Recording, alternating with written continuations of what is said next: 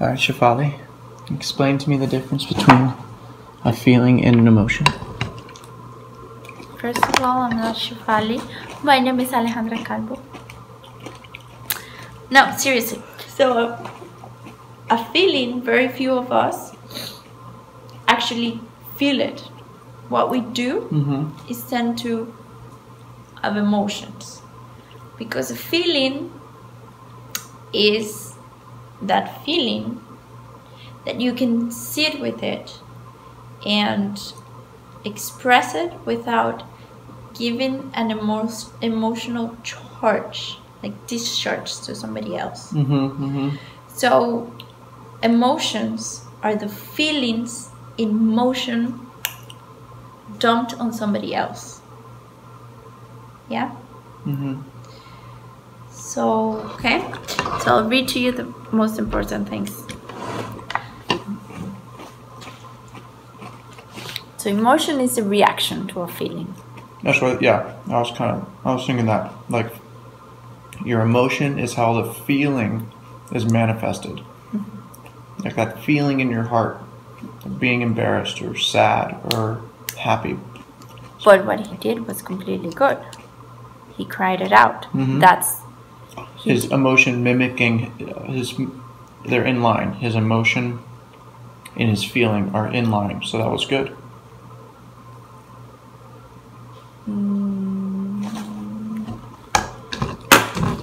Ye- yeah no because feeling our feelings involve crying it out Mm-hmm. or breathing or walking just an emotion is when you dis- like discharge it on somebody else when you project it project that feeling when you cannot sit with your feeling and just feel uncomfortable Mm-hmm. you know Mm-hmm. like he was feeling in that moment what he was feeling he was feeling scared nervous and he felt it Mm-hmm. he felt it. He sat with it. He released it through crying. Mm-hmm.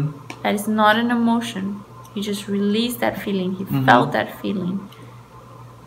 And then he let it go. That's when you can let it go. When, when the feeling is going to go away. When you sit with that discomfort when you're able to soothe yourself not when you project it to somebody else that's an emotion Mm-hmm. so it says here. Yeah. Simply put, we react with an emotion when we're unable to handle our feelings. When we feel uncomfortable, we, we create a smooth screen of reactivity. For instance, we drink, smoke, blame, guilt, have tantrums, and so on. These feel like feelings, but they're actually the avoidance of the true feelings. Mm-hmm. Um, yeah, the truth is that feelings can be experienced only from a deep and silent place within us. They need to be cried out, walked with, touched, and even experienced as quivering and shaking. Feelings can be acknowledged only on a visceral and on a visceral, highly personal level. It's because most of us are trained, are not trained to feel our feelings, really feel them that then we dump them on our loved ones in a form of a emotional reaction. Mm,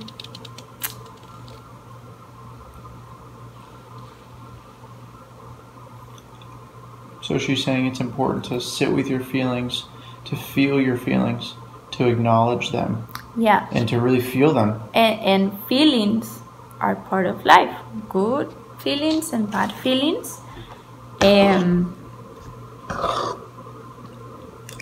you can tune in and allow the feelings to speak to us, wash over us, and transform us. Mhm. um, what we do is the opposite. We hush up. We be, we uh, we try to make them disappear. Um, We numb ourselves with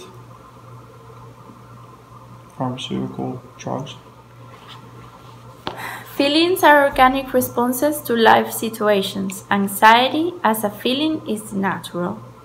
However, we don't know how to simply sit with our, our anxiety.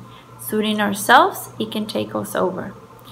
When this happens, emotion floods us and blocks what we are really feeling. Emotions carry a charge of resistance.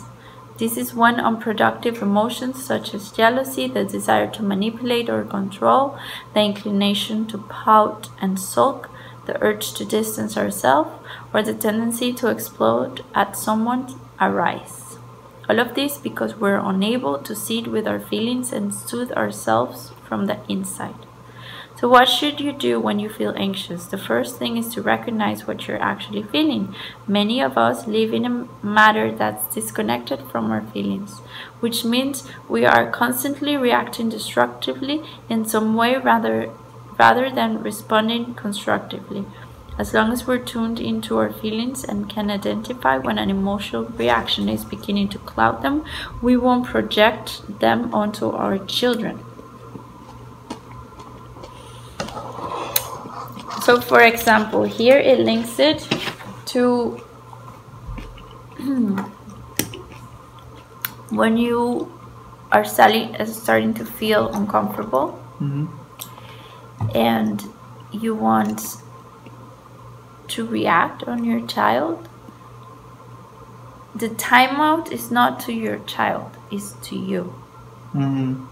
That's the time, that's the only person you should give a timeout to because that's your feeling. Whatever the child is making you to feel uncomfortable, that is your feeling. You're not supposed to project that on him.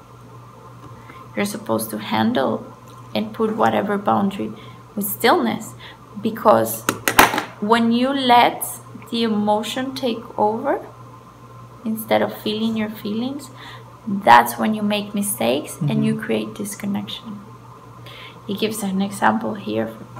Um, it gives the example of a teenager that is having dinner with the parents, and the teenager says something like, "Oh, I gotta confess that I've I haven't worked on my project. All I've been doing the whole day is play video games." And then the dad immediately, because the teenager is being honest with him the dad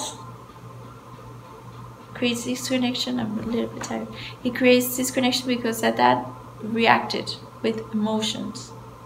You know, he felt scared in the moment that his child is not going to be good enough to go to college or whatever, or that he's going to fail in life. So immediately he grounds him and say, like you can go to your soccer practices you can't like you're grounded for the next two weeks. And then he had a soccer game the next weekend.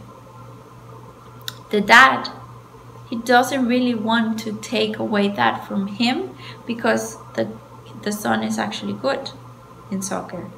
And the dad even had the co-worker said to him on monday like oh i'm excited for the game. Like mm-hmm. your your son is so good. Like i really like he generally is a good soccer player.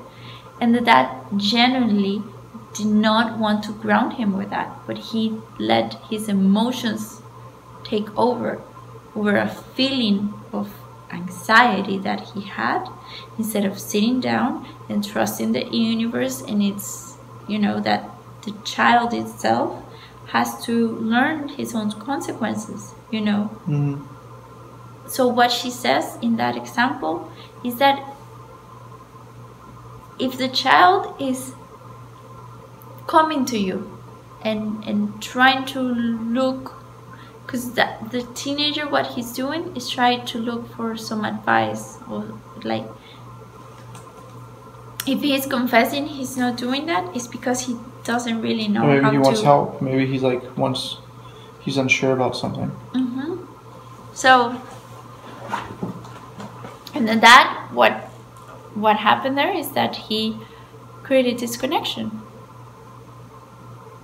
because he couldn't handle his feelings. He let fear take over. Mm-hmm.